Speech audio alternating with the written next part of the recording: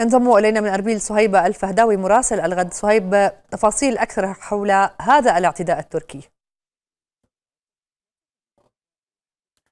المصادر الرسمية يارا تحدثت بأن الهجوم استهدف دورية عسكرية تابعة لحرس الحدود العراقي بينما جاءت الصور من منطقة سيدكان لتشييع جثمان مدنيين سقطوا أيضا في القصف في الحقيقة الأخبار متضاربة والدلائل تشير إلى أن الحادثة حدثت أو ما جرى هو استهداف لأكثر من منطقة. الأولى تضمنت دورية عسكرية تابعة لحرس الحدود. قتل فيها ثلاثة من عناصر أو من قوات حرس الحدود اثنان منهم ضابطان والثالث جندي.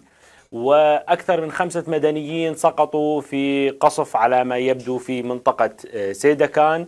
حيث تفيد المعلومات الواردة من هنا من هناك عفوا من شهود العيان وكذلك من مصادر كردية بأن القصف استهدف أيضا تجمع أو اجتماع لقوات حرس الحدود وأيضا عناصر من حزب العمال الكردستاني ما تسبب بسقوط ليس أقل من 20 شخص في هذا التجمع.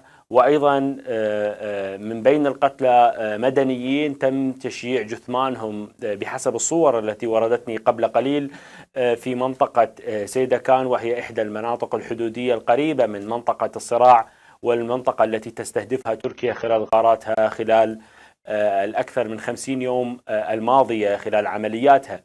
بيان الحكومة العراقية أو بيان تحديدا خلية الإعلام الأمني في بغداد ذكرت بأن الهجوم استهدف دورية عسكرية وأدانت هذا الهجوم ولم تتحدث عن بقية تفاصيل القصف التركي الذي يستهدف المنطقة.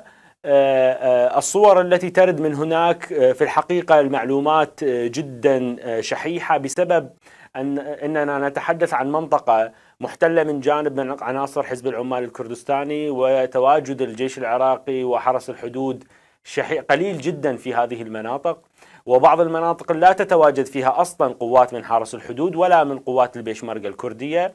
والعمليات التركية أصبحت المنطقة بحكم المسيطر عليها من قبل تركيا أي تحرك في هذه المناطق هو يستهدف وبشكل سافر حتى مدنيين سقطوا خلال الأيام الماضية نتيجة القصف التركي المتكرر بالطائرات المسيرة التي لا تكاد تنقطع عن التحليق في هذه المنطقة.